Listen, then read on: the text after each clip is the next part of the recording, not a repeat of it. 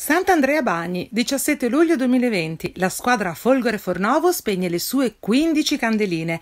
La Folgore Fornovo nasce nel 2005 per volontà dei figli della gloriosa Folgore degli anni 50, la squadra parrocchiale creata da Don Magri e sostenuta da Monsignor Malpeli.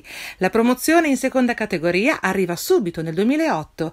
Da allora due salvezze all'ultima giornata e poi nelle ultime stagioni sempre un soffio dal playoff. Dopo la positiva esperienza esperienza con mister Stefano Brianti nella stagione post-Covid a guidare la formazione nero-arancio sarà Gianluca Rivaldi, proveniente dal Gattatico, e vice allenatore nonché allenatore dei portieri il mitico Matteo Guarnieri.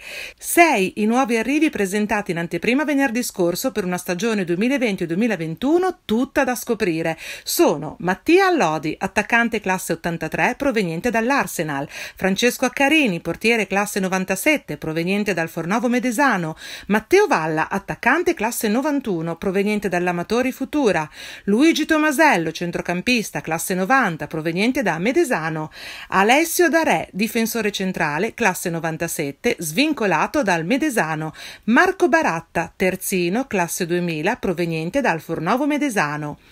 Una lunga kermesse con torta finale per coronare gli splendidi 15 anni passati con spirito sportivo e amicizia tra giocatori, dirigenti fondatori e sostenitori. Un gruppo, quello della Folgore Fornovo, che rinsalda il rapporto tra i comuni di Fornovo e Medesano nella crescita calcistica. Sono intervenuti Michele Giovanelli, sindaco di Medesano, Alessandro Tanzi, delegato allo sport del comune di Fornovo, Sandro Squerin, presidente della nuova e ambiziosa fusione tra la squadra di prima categoria Fornovo Fornovo Medesano e il settore giovanile della Futura 2015, coinvolto quindi nel rapporto sportivo di qua e di là dal Taro anche la Folgore 2005 con giocatori provenienti dalla nuova società Fornovo Medesano e Futura 2015. Daniela Bassi, TG Parmense.